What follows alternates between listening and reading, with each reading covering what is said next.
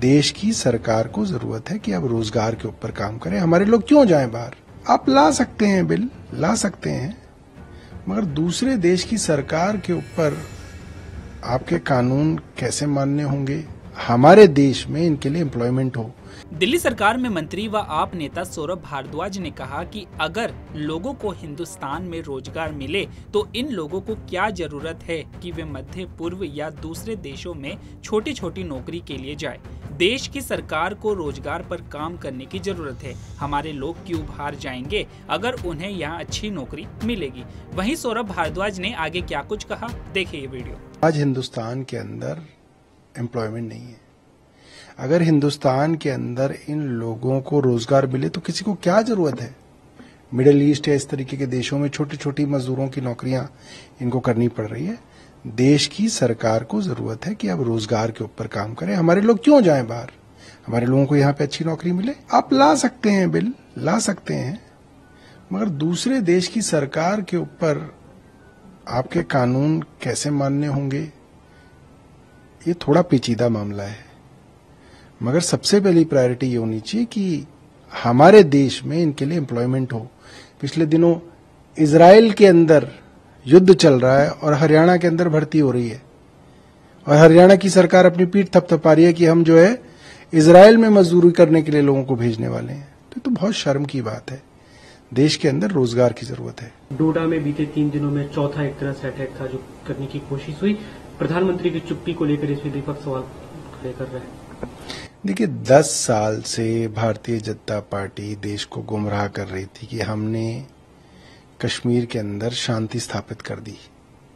हमने कश्मीर के अंदर चुनाव बंद कर दिए, हमने उसको यूनियन टेरिटरी बना दिया, हमने असेंबली खत्म कर दी, हमने नोटबंदी ले आए। अब जो है, उग्रवाद खत्म हो गया।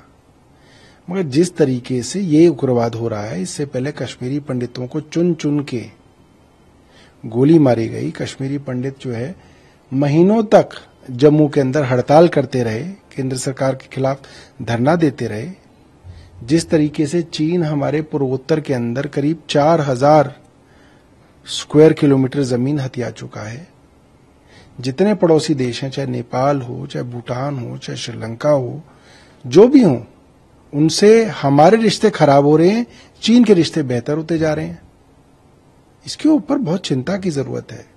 हिंदुस्तान की जो साउथ ईस्ट एशिया के अंदर वैल्यू थी उसको भारतीय जनता पार्टी की सरकार के आने के बाद काफ़ी धक्का लगा है। देखिए 26 लाख देश के नौजवान बच्चे उनके भविष्य के साथ धोखा हुआ।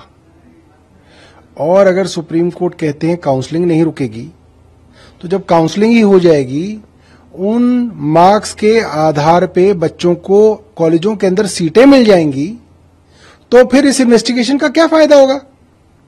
क्या फिर आप उस उस बच्चे को जो ऑलरेडी कॉलेज में चला गया, उसको उससे वापस ला सकते हो? ऐसा नहीं किया जा सकता। तो काउंसलिंग ना रोक के अगर गड़बड़ हुई है तो उस गड़बड़ का हम निपटारा ही नहीं कर रहे। दूसरी बात, जिस तरीके से केंद्र सरकार डिफेंसिव है, साफ़ दिख रहा है कि इसके अंदर एक बड़े लेवल पे गड़बड़ियाँ हुई हैं और हिंदुस्तान के डॉक्टर पूरी दुनिया के अंदर जाने जाते हैं।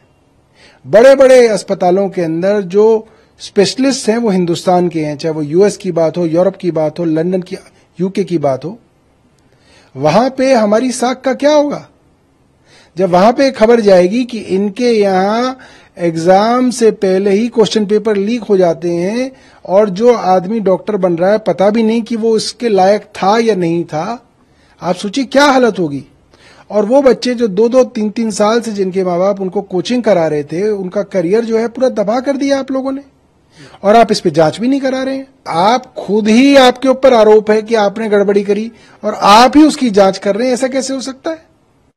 इंडिपेंडेंट जाँच हो और सुप्रीम कोर्ट मॉनिटर्ड हो और जल्दी उस जाँच का रिज़ल्ट आए अगर वो जाँच जो है सालों तक चलती रहेगी तो ये बच्चे तो बूढ़े हो जाएँगे, इनका तो करियर खत्म हो जाएगा।